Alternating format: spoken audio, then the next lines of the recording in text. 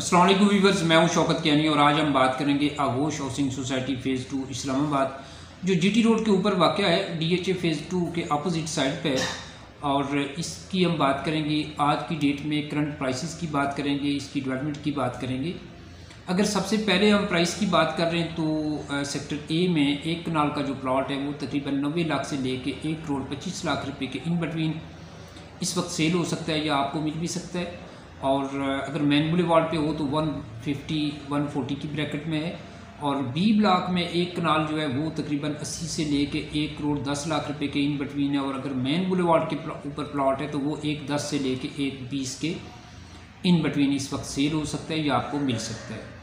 और sector C में इस वक्त जो एक कनाल की प्राइस चल रही है वो तकरीबन एक पंद्रह से लेके एक करोड़ पच्चीस लाख रुपए के इन बिटवीन है। और सेक्टर ई e में जो एक कनाल है, ये तकरीबन नबे लाख के प्लस माइनस में है। ये सेक्टर ई e जो है, ये तकरीबन नॉन डेवलप है। यहाँ पे अभी तक कोई डेवलपमेंट का काम नहीं हुआ।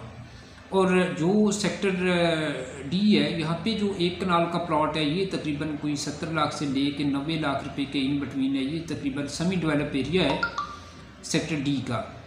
और जो सेक्टर एफ़ है, यहाँ पे तकरीबन एक कनाल जो है वो नबे लाख से शुरू होता है और एक करोड़ पंद्रह लाख रुपए तक जाता है। लोकेशन के ऊपर डिपेंड करता है। सेक्टर एफ़ में काफ़ी हद तक डेवलपमेंट हो चुकी है। तकरीबन अस्सी नबे परसेंट ये एरिया सेक्टर एफ़ का डेवलप है। और सेक्टर जी में जो एक कनाल है, ये तकरीबन साठ से सत्तर लाख लाख रुपये के इन बिटवीन है और इस एरिए में भी अभी तक कोई डेवलपमेंट का काम नहीं हुआ। और कुछ थोड़े ज़मीन के लैंड के भी यहाँ पर मसले मसाइल चल रहे हैं। मकमल तौर पे सेक्टर जी की लैंड भी आगोश के पास अभी नहीं है। फ्यूचर में आ सकती है। ज़मींदारों के साथ बातचीत चल रही है आगोश हाउसिंग सोसाइटी की। सेक्टर जी जिस लोकेशन पे वाक़ है, इसके साथ साथ अगर हम सेक्टर एच की बात करें तो वहाँ पे एक कनाल तकरीबन नब्बे लाख से ले कर एक करोड़ दस लाख रुपए के इन बिटवीन है। और सेक्टर एच में जो चौदह मरला है, वो सत्रह लाख से ले कर अस्सी लाख रुपए के इन बिटवीन और सेक्टर ई के अंदर जो दस मरला के प्लाट हैं, वो तकरीबन साठ लाख से ले कर पचहत्तर लाख रुपए के इन बिटवीन इस वक्त सेल हो सकता है। ये थी Aghosh housing society phase two Islamabad की आज की डेट की करंट प्राइसेस थी जो मैंने आपके साथ शेयर की हैं। अगर हम डेवलपमेंट की बात करें तो Aghosh housing society phase two में डेवलपमेंट का काम इस वक्त जारी है। और उम्मीद ये है कि आने वाले डेढ़ दो साल तक आगोश हाउसिंग सोसाइटी जो है वो मुकम्मल तौर पे डेवलप हो जाएगी और वहाँ पे कब्ज़ा भी मिल सकता है। जब कब्ज़ा मिलेगा तो आगोश की प्राइस जो है वो अच्छी खासी ऊपर जाएँगी। इस वक्त आगोश की प्राइस इंतहाई रीज़नेबल है। अगर आप आगोश हाउसिंग सोसाइटी में इस वक्त इन्वेस्टमेंट करते हैं तो मैं ये समझता हूँ कि कब्ज़ा मिलने के बाद जो प्लॉट इस वक्त आपको एक करोड़ का मिल रहा है, ये दो से ढाई करोड़ पे जाएगा।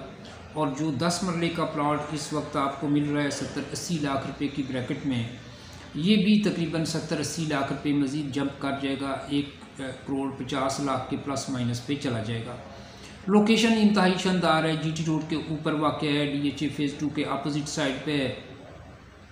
अगर आप रवाद से रावलपिंडी की तरफ़ आते हैं तो D H A phase two का जो सेक्टर है, चाहे इसके अपोजिट साइड पे लेफ़्ट साइड पे, Aghosh phase two housing society phase two वाक़ है। और मैं ये समझता हूँ कि इस वक्त आगोश में इन्वेस्टमेंट का अच्छा मौका है प्राइस इंतहाई रीज़नेबल है। अगर आपके पास इन्वेस्टमेंट इस वक्त है तो आप आगोश में इन्वेस्टमेंट करें इन आपको फ्यूचर में फ़ायदा होगा।